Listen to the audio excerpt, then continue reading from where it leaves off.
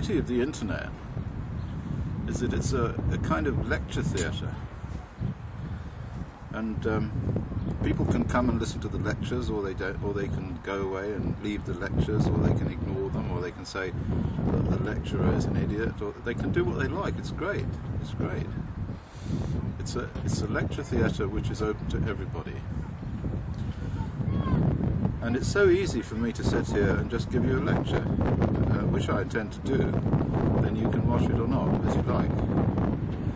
But what I have to say is extremely important, and it's it's almost critically important. I mean, I've been going on and on about radiation. I've been going on this this woman here looking at me as if I'm mad. a French woman walking along the towpath here, talking to myself, it seems. Anyway, I'll get on with it. What I want to talk about is not radiation, but about what is behind radiation. What is it that that um, pro- provides this um, barrier between common sense and, and truth, if you like, and policy? because it's absolutely clear, you know, to go back to radiation, that the errors in the an- analysis of the effects of radiation on human health are just so manifest and profound and enormous that millions and millions of people have died as a result of these errors. Now, it could be that behind it all are a bunch of crooks, and in fact, certainly some people are there who I believe know better and do know that they're activities are killing people, but they're prepared to go along with it for power and influence and money and so on. And we can argue about that as well. We can argue about why it is that some people need power and influence and money. I don't, incidentally, and I know many people who don't. Many people. So there's obviously something in uh, human nature that's gone wrong for some people, but not others. But anyway, that's a different lecture. The lecture I want to give now is going to be fairly short and it's going to be about physics. Because what I've realized is that the last century, and continuing now into this century, is the era of truth as advanced by physics, or mathematics if you like. But mathematics in itself is, is harmless. Mathematics is just a, it's like a calculator, you know you give it a problem and it gives you an answer. Uh, and that's great that we've developed mathematics, or the human race has developed mathematics, so you can give complex problems and get and get correct answers. But as a physicist, as the as the computer engineers and the computer programmers used to say, garbage in, garbage out. And where mathematics attaches itself to the analysis of reality, if I might call it that, we have a problem. And that problem is in the realm of physics. Because in the realm of chemistry and in the realm of biology and engineering and electronics, you don't get very far unless your theories actually produce something that works. So if you mix a green liquid with a blue liquid and get a red precipitate, you will also will, that will always happen so long as you do that. But what physics tries to do is it tries to analyze all this. It tries to analyze all of this this universe in terms of mathematics. And when it tries to do that, it, it, it, it falls down, it, it cracks up. And I'll come to that. But first of all, let's consider the physicists. I've met an awful lot of physicists since I've been doing this work on ionizing radiation and health.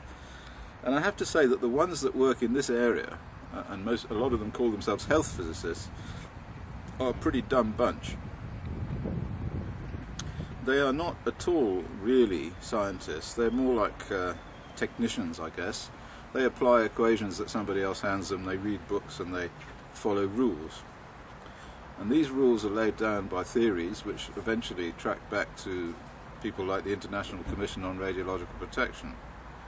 And those are the people who apply physics to living systems. Well, of course, you can't apply physics to living systems. And that's a problem. So I've come, I've talked about this until you're all bored to death about it. But I'm more interested in, in, in the physicists themselves. Because what, what physics has done in this last century, not, not the one we're in now, but the previous one, is it's taught human beings to to give way to impossible ideas on the basis that they must be right, on the basis that mathematics says that they're right. And this is the most extraordinary thing because it has left everybody powerless to use their own common sense, their, their own understanding of the world uh, as they live in it. They can no longer do this. Now here's somebody more coming past. They see uh, that I'm uh, I'm talking to myself. They must think I'm insane. Bonjour. Or maybe you'll think I'm insane too when you listen to what I have to say.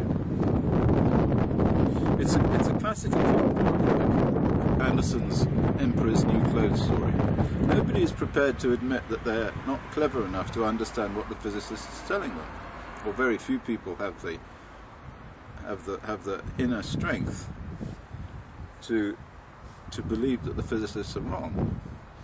And there are two major areas in which the physicists tell us stuff which is actually offensive to common sense and offensive to everything that we know about how the world works.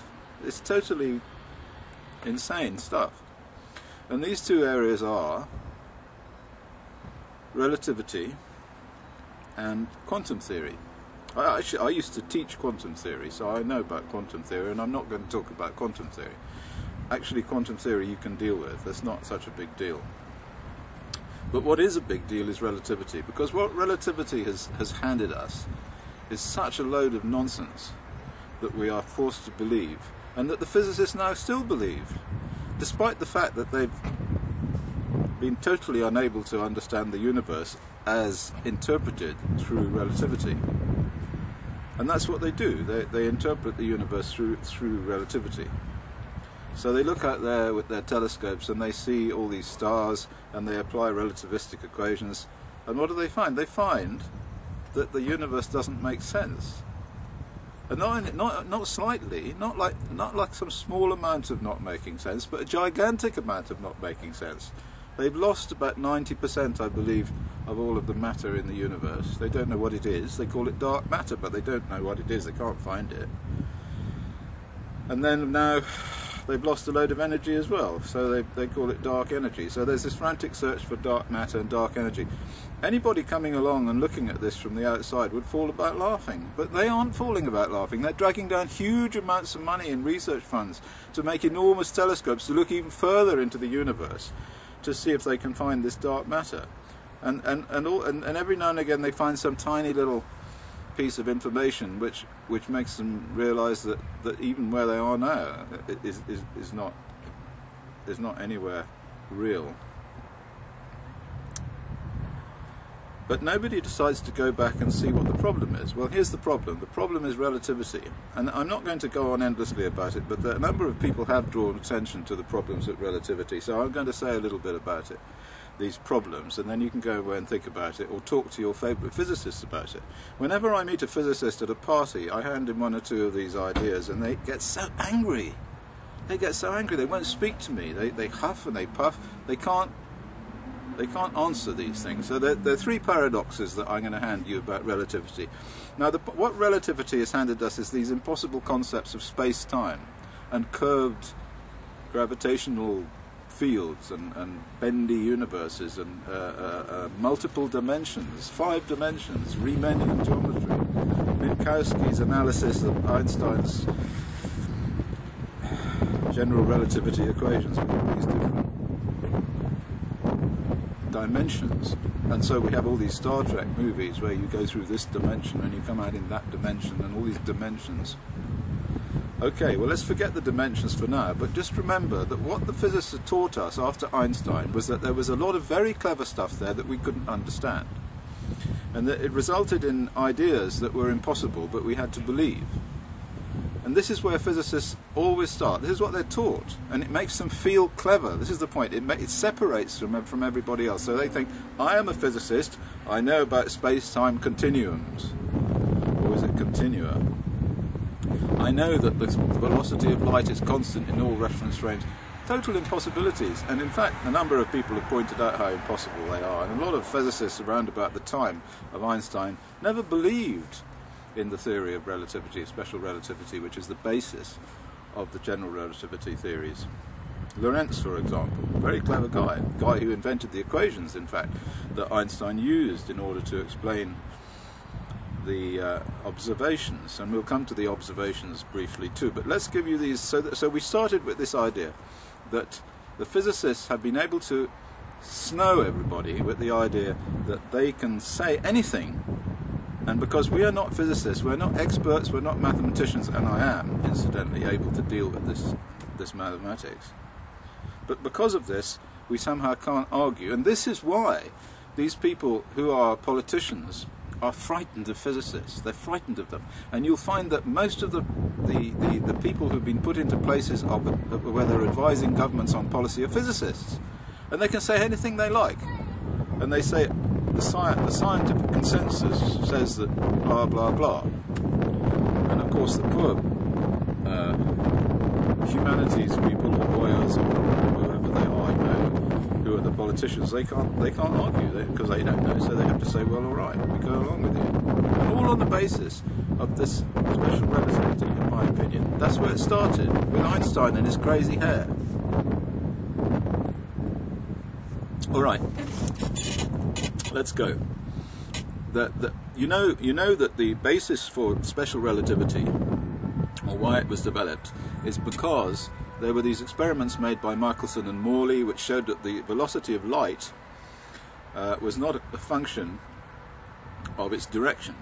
So, in other words, the, the material that, that was supposed that had been postulated to support the, light, the vibrations of light in the universe didn't exist. And this was an experiment done in the late 1900s with, with equipment which wasn't so fantastic. But anyway, what they found was that within the limits of experimental error, it, uh, there was no such thing, or there was no ether drift. Now, the ether is this universal medium that was postulated to support the uh, vibrations of, of, light. You know, light is a wave. Okay, well, we know light is a photon also, but light has to be supported by something, and you have to have action at a distance and so on. So it was a bit of a problem there. Uh, and what and then Lorentz came along and he said, well, of course we can deal with this problem if we assume that there's a universal medium and, and that it can be contracted in the direction that you're, you're, you're moving. So in other words, you have you have variations in the lengths of measuring rods and that sort of thing. And then Einstein comes along and he says, no, no, we don't need all of this. You know, we can just consider the concept of simultaneity.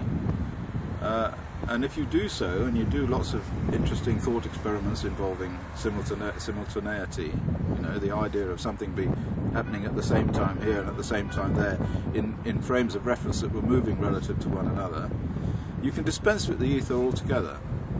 Nonsense. Absolute nonsense. I don't know how anybody believed it. Anyway, they did. It was an emperor's new clothes phenomenon, you know, so the people who believed it were very clever and the people who didn't believe it were thick. And remember, all this was happening round about the time of the First World War, and round about the time when people were giving up on religion because of Darwin, and there was no, there was nothing that you could hold on to. You know, things fall apart. The centre cannot hold. Mere anarchy is loosed upon the world. And then, what rough beast? Its hour come round at last. Was was Einstein? Was relativity? Anyway, there's some there are two paradoxes about relativity which blow it out of the water instantly. And the first is the twins paradox. The, the, equations of relativity, of special relativity, will tell you that if you go close to the speed of light, all sorts of strange things happen. happen. And, and everyone will tell you that from the equations, if you're sitting on the Earth and there are two twins, one remains on the Earth and the other one whizzes off at a tremendous speed and comes back, they will have aged. The, the one that whizzes off will be younger than the one that stays on Earth when he comes back. Okay, this is what the equations tell you. But since there's no preferred, so and this is the paradox, okay, because everybody swallows this bollocks, you know, everybody at school is taught this stuff, well not school, but you know, when, university, when you get to, Rose, incidentally my daughter studied uh, natural sciences at Cambridge and she had to put up with this nonsense and she just gave up in the end, she couldn't, she just couldn't argue it. She went and did social anthropology, very wise, very wise. But of course, you know, all the physicists and the, the men, the mathematicians, they all laughed at her. You know, silly woman, of course, can't do mathematics, doesn't understand these difficult, arcane subjects. But that's by the way. So the, the point is that if one twin goes off and then comes back and he's younger than the second twin, that immediately introduces an asymmetry into this into the system. And if you step back from that, you're not allowed to put an asymmetry in the system according to Einstein's first postulate because there's no preferred reference frame. So there's no reason why the one on Earth then can't be seen as travelling away from the one who went off at, at, at 186,000 miles per second or whatever it was. Okay? So the one that flies off from Earth at a huge speed cannot be considered necessarily to be a preferred twin. So he doesn't age at a less rate than the one on Earth, because if you consider it from the other point of view that the Earth twin moves off on the Earth away from the other guy at 186,000 miles per second, he becomes the chosen twin, just on the question of deciding which twin to put into the equation. You see what I mean? It's just absolutely to do with the mathematics, what you put in at the beginning. So he's the one that is younger now. Well, they, they can't both be younger, can they? I mean, that's impossible. So end of relativity as far as that's concerned. So that paradox, the twins paradox, was first advanced by Professor Herbert Dingle, who was Professor of History and Philosophy of Science at Imperial College in London, in a book called Science at the Crossroads, uh, which was published in the 60s. So I'm not the only one to point out this nonsense about relativity, okay?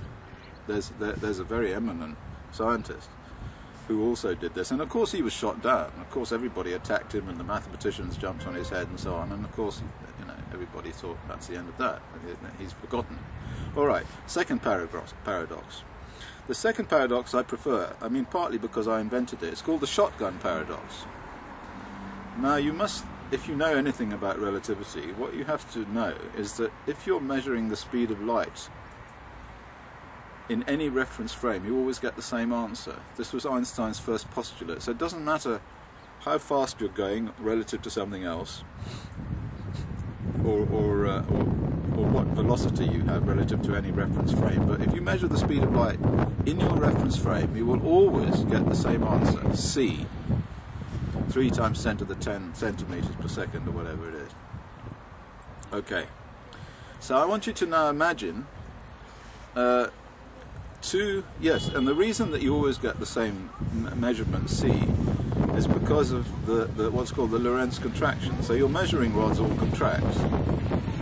So if you if you because you know that speed is distance over time, so you have in order to measure the speed of light, you have to measure the time it takes to travel a certain distance. Well, of course, if the distance is contracting because you're you're going fast, then of course you you will still get c, and that, and that, and that's how they explain the um, the observation.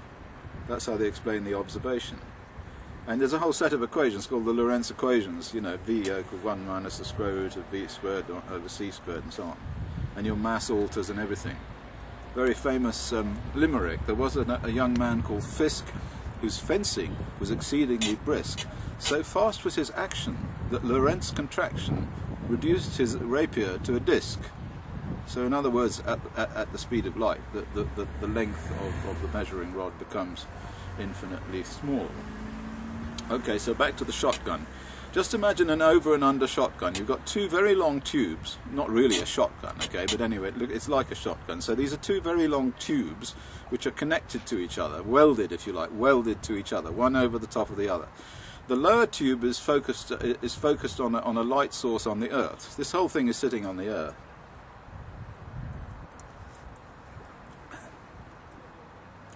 And the upper tube is focused on a distant star, which we assume that the Earth is moving towards or away from. It has a velocity relative to this distant star. So light from the distant star travels through the upper tube, and light from a light bulb travels through the lower tube. This is a thought experiment, okay? And what we're going to do is we're going to chop the beams with a chopper. So we're going to start them and stop them. So we're going to switch them on, switch them off, just by putting a piece of cardboard in the way, if you like. And so then when we switch them on, the light will get the, the, the, the light will shoot down the tube and then we measure the time it takes to get to the end of the tube.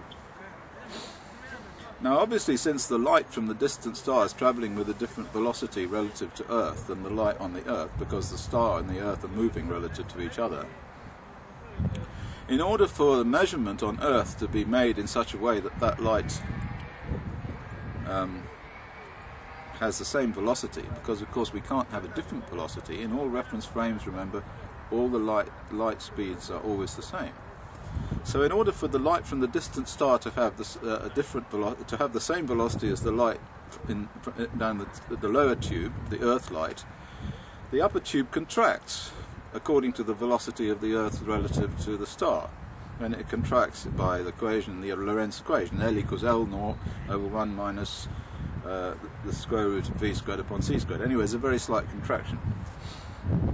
So if you keep chopping this, now of course you know that if the, if the top one if the top tube contracts because of the Lorentz contraction, and the bottom tube doesn't contract because there's no Lorentz contraction, you've got like a bimetallic strip. So they have to move, they have to bend like this relative to each other. Okay. And so what we then do is we chop the beam with a chopper, chop, chop, chop, chop, chop, chop, chop, and that makes it bend at the same rate as the chopper. And it whips backwards and forwards, and then we connect that to a, um, a piezoelectric uh, crystal, and we generate electricity. or something like that. We get useful work. We get useful work out of measuring the speed of light. Isn't that great? Of course, that contravenes the first law of thermodynamics. And so what you've done here is you've absolutely put Einstein, you've put the uh, special relativity up against thermodynamics. Now nothing, nothing contravenes the, th the laws of thermodynamics, that's it. For physicists anyway. So when physicists have the laws of thermodynamics put, put up against the laws of relativity, uh, their heads explode. So that's what you've got to do at the next party when you talk to a physicist, alright? Anyway, this is quite entertaining, but also it's really quite serious. It's really quite serious. And so, and so, what is the answer then? What is the answer? Uh, why, why are the light is the light not the same in the two directions in the Michelson interferometer? What is it that supports light in the universe? Well, the answer is simple. It is the ether. It's just that Michelson got it wrong. He never measured it. He didn't measure it because his instruments were not good enough. It's as simple as that. Isn't that extraordinary? Extraordinary. And how do we know that? Because somebody else did. A chap called Miller in America did an enormous series of experiments with all sorts of interferometers on the top of Mount Wilson. He was um, he was funded by by the Chase uh, of, the, of, Edward Chase, I think he is, of the Chase Manhattan Bank, rich guy. He put tents on the top of mountains. He measured uh, he measured the speed of light using every possible system, and what he found with an enormous and clever series of experiments is that there is an ether and that the Earth um, is, is moving through the ether at, at, a significant velocity towards the constellation Hercules. And he published his results in physical review letters, I believe. You can find it on the internet. Miller, put in Miller relativity. You'll find all his papers. So isn't that an extraordinary story? To me it's an extraordinary story. And what it tells me is that the whole of the physical understanding of the universe is nonsense. It's just nonsense. And yet these people still hold sway over the minds of, of, of you and me and the minds of the politicians. And they're still able to tell us on the basis of mathematics that we should do this and we should do that. It's such a laugh Anyway, that's the end of this lecture. The next one will be on quantum theory. But quantum theory is much more fun. And quantum theory doesn't hold out any real um, perils for us. The perils that I want to talk that I wanted to talk about are the perils of assuming that physicists know what they're talking about because they don't. They don't know what they're talking about. They're stupid. They have made themselves stupid in some curious way by embracing mathematics. And math all that mathematics can do is it can deal with what you put into it. And because what you put into it very often is wrong, or very often is oversimplified because it's just taken as a little bit out of reality, and then it gives you an answer about that little bit, and then all it does is it tells you something that, that, that actually may not be the answer to your question. And in the case of ionizing radiation, which is where I come in, it isn't. Anyway, here we are on my little boat down in the middle of France. And so this is another one of my lectures from Marius. Thank you for listening.